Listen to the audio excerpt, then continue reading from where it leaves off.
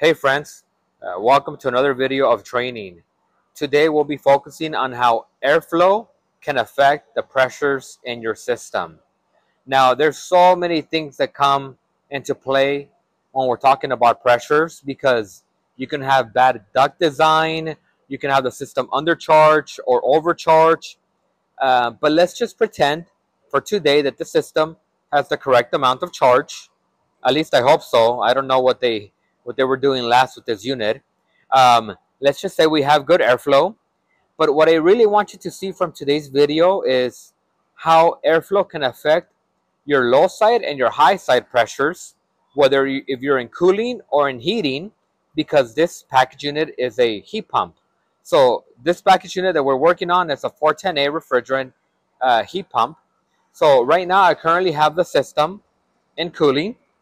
So right now, I make you know first I have to make sure I have it on the right refrigerant, but I have a suction pressure of 108, and then I have an evaporator temperature of 35 degrees. So I basically the gauges basically convert the pressure to a temperature for me.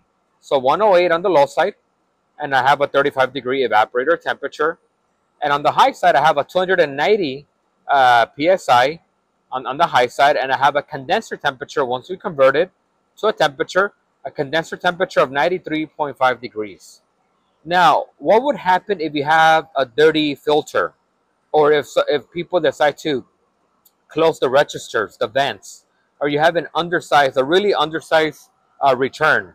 Well, I want you to have in mind this number 108 right 35 but you just if you want you can just remember this number 108 psi let's go ahead and intentionally cause low airflow by putting a dirty filter. And in this case, I'm just putting a plywood.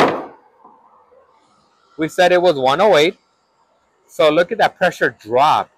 A lot of people think that pressure is going to climb up, climb up, climb up, because and then it's going to just blow up. And that, that's at least how I thought.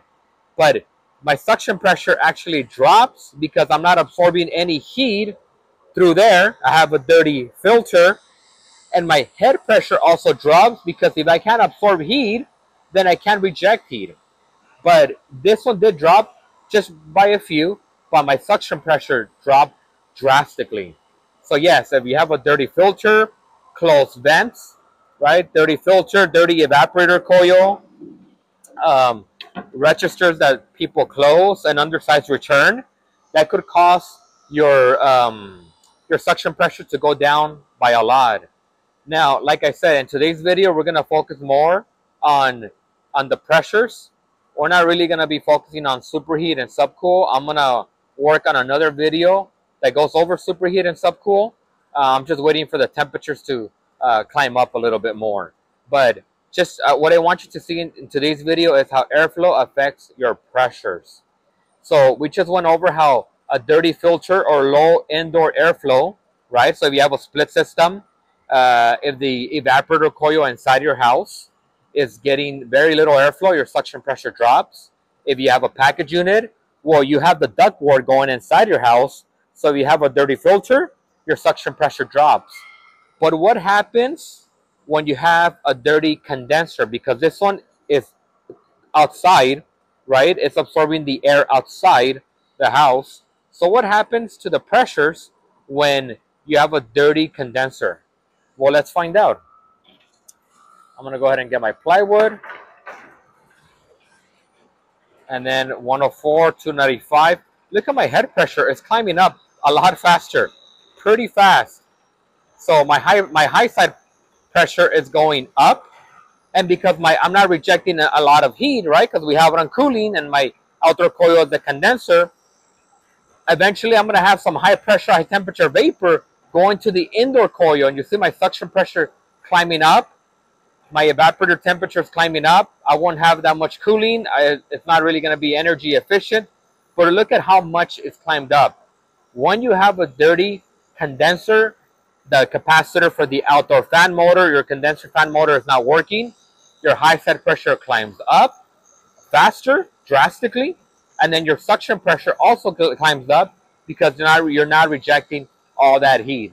Okay, so I did remove the obstruction we had, right, from up here. You can see my high side pressure uh, going down, right? It's going down. and hence my suction pressure is also going down. You see, I'm not rejecting a lot of heat. There's a lot of heat present in, in, in the system because I'm not rejecting it. So that happens when um, these coils don't get cleaned, they get damaged, a bad cap, a bad condenser fan motor, or if you just did what I did, just cover the top, uh, that will climb that would climb up drastically. But what about heating? We did say this is a heat pump. So let's go ahead and turn on the system and get it to heat. So this system will default to heating, right? Because right now I'm sending 24 volts to my uh, reversing valve. So let's go ahead and uh, not send 24 volts so it can default to heating. You could probably hear that, that noise, the refrigerant now flowing the other way. So in a heat pump, right? In a heat pump, my indoor coil now, my indoor coil is my condenser and my outdoor coil is my evaporator in cooling, in cooling, my outdoor coil was the condenser, and then my indoor coil uh, was the evaporator. But in heating, because this is a heat pump, right? My indoor coil is the condenser, indoor coil is the condenser, and my outdoor coil is the evaporator. Okay, so we'll go ahead and let it let it run for a bit, and we can see uh, the system running, right? So whenever uh, you know you're gonna switch modes, you always want to wait a couple of minutes so that the system can kind of do its thing, right? It's uh, pumping refrigerant, sending high pressure, high temperature vapor inside your inside of the the indoor coil, right? Um, but what I really want to focus now is airflow once again. So uh, this is what confuses a lot of people here if you remember when I had it in cooling, by me covering the return, my suction pressure dropped, right? But have in mind, now I am in heating. My indoor coil is my condenser. So look at what happens to my pressures when I have a dirty filter in heating mode. Okay, so let's keep an eye on these. About 120 and 3, eh, 325. It'll be 325 by the time we come back. 120, 325. Let's go ahead and cover this. Look at look at my high side pressure.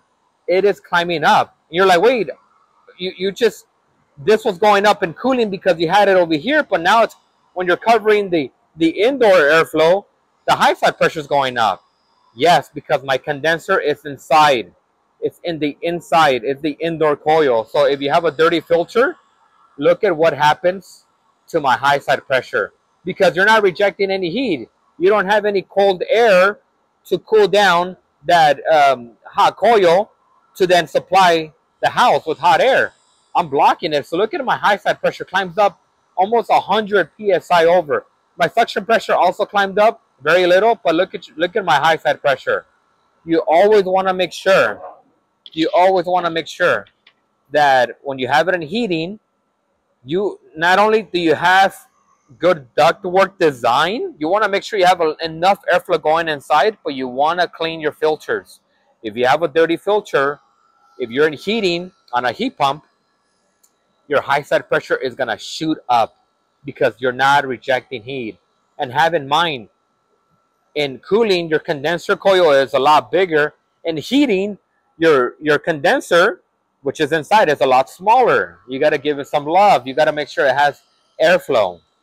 So um, yes, with the dirty filter, you will have the um, the high side pressure climb up, and then this will climb up, not as much, but this one will climb up a lot, as you can see.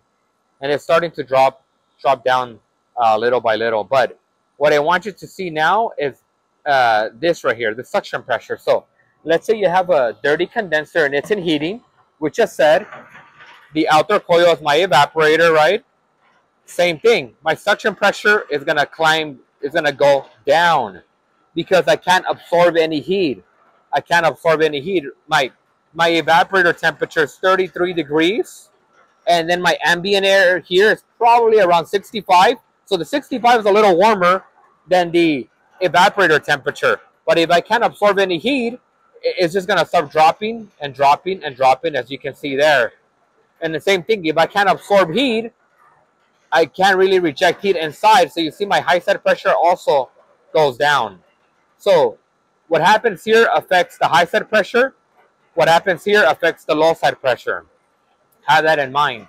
Um, both of them work off of each other. It's all about heat transfer. But you see, I still have the the plywood covered, covering the uh, the uh, the evaporator, and it's still dropping. So I'm gonna go ahead and now remove it. Okay, gonna go ahead and remove it, and you see my suction pressure is climbing up. My high side pressure is climbing up as well. So the point of today's video is to get you to understand and remember your ABCs. Yes, we're back to kindergarten, right? When we have to remember our, our ABCs, but in HVAC, ABCs, you want to think about it this way, airflow before charge. ABCs, airflow before charge. Before you even charge the system up, you always want to check your airflow.